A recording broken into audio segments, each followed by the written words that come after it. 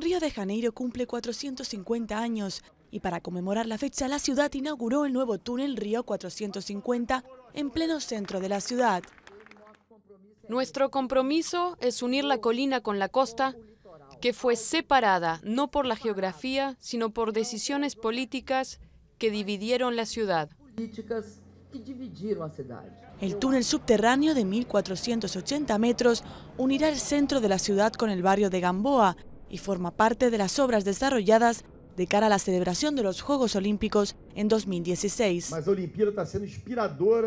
Los Juegos Olímpicos están siendo inspiradores para la ciudad para superar obstáculos, batir récords y ganar desafíos que hacía tiempo no ganaba.